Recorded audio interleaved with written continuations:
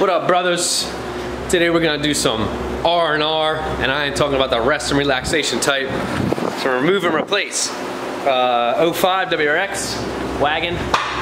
We're gonna replace the radiator because it is faulty, and we're gonna be replacing it with said Mishimoto radiator.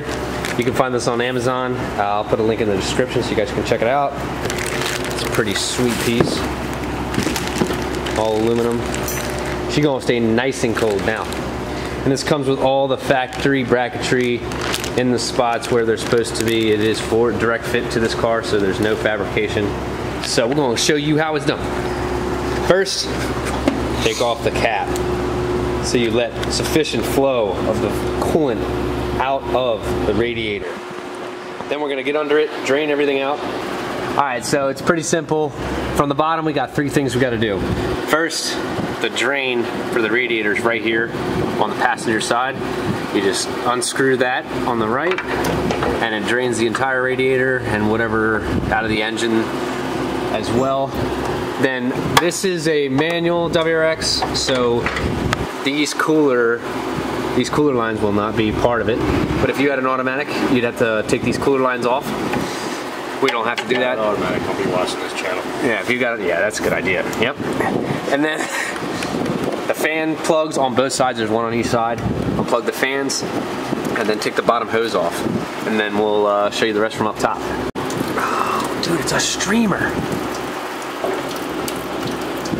The drain's a good way to keep it clean, but if you're trying to do it quickly, just drop the lower hose and let it come out. Uh, generally, the hose clamps are 5 16ths to get them off.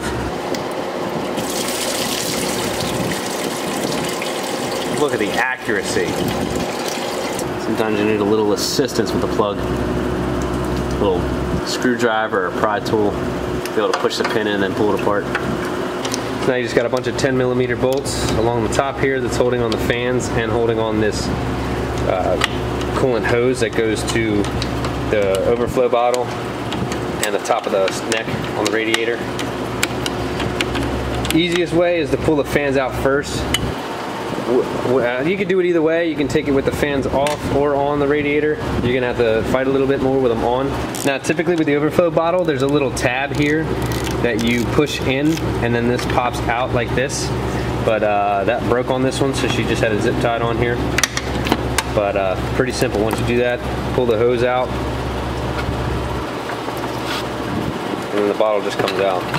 Has a little stem on the bottom that sits in that hole down there. Can't forget the other line on the other side of the radiator as well. Just sling up your top hose and get it out of your way. And don't forget about the 12 millimeters that actually holds the rad on. On both sides. So see, even with the fans on it, you still got a good amount of room. You gotta pull all this out just with this throttle cable. And she'll come right out. So since we, the radiator is just a little bit bigger, the Mishimoto one, we're gonna take this top hose off just because to make it a little easier going back down into it.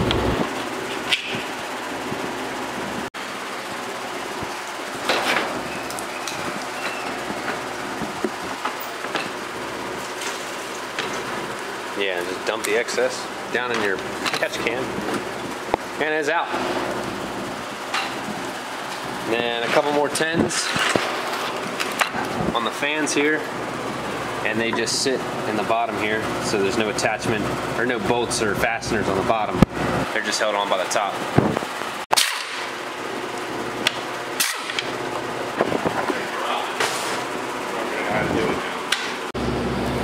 Ooh, look at that. Oh wow, dude. Dude, now we gotta cut the grill open so you can see the M on there. My goodness. Now the rubber feet for the radiator should stay in there, but if they do, just make sure that they're back in there before you put the new radiator down in there. And we'll be good to go. And something you may experience, and generally always is the case unless you're buying some real high dollar stuff, is fitment issues with custom stuff. Just because it's not always exactly correct, so sometimes it takes a little bit of maneuvering to get things in the right spot. Dude, it came with a a window sticker. freshener, I think it's an air freshener. You got the honey on the Scooby right there. Ooh, and uh, it also came with hardware for the fans because there are different threads on all the bosses here. so you got to use the hardware that comes with it. Leave the, uh, when you're putting the fans on, you got to leave this one exposed because that's going to accept the coolant hose, the coolant line going back on. So if you put that on there, you're just going to remove it later anyway. But the other fan, you can put both of them on because they don't house it. There are separate ones here for the coolant hose or the coolant line on, on this side. So each one of them comes with a washer and a locker. Make sure you use both because you don't want nothing coming off or loose. And this is what it should look like when you have uh, fastened the fans on before installation of the radiator. And if you notice, this one does not come with a cooler for your transmission, so you do need to specify whether you have an automatic or manual when getting your radiator. Because if you have an automatic, you will not have your cooler on this one. Another thing to make sure is the plugs, especially this one, make sure it's tight because they do kind of just throw it on there from assembly. And make sure that the stem on here is also tight because none of these may not be tight coming from the factory and if you don't uh, test that stuff you may have a leak later. So just double check your stuff. Let me hold that for you.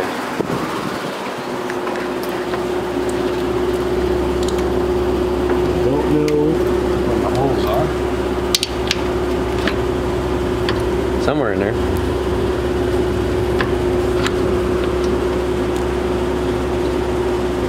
Well, if you measure it off the center of There our we go.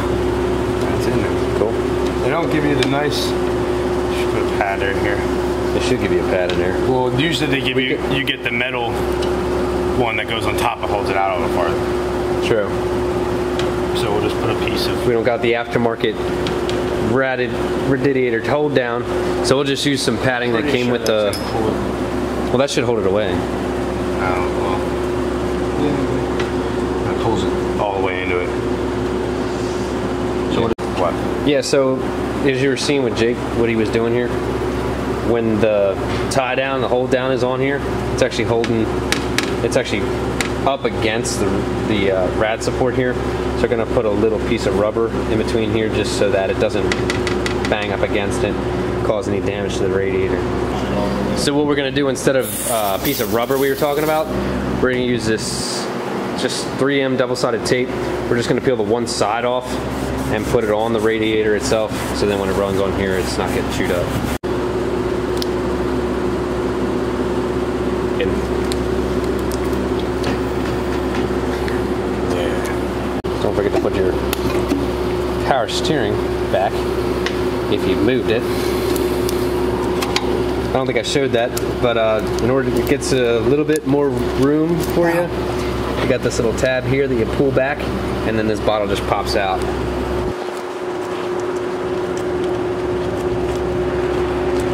Always something to make your life easier. Always make your hose clamps in an easy get to spot when you're going back on. If you got to flip them around, do so.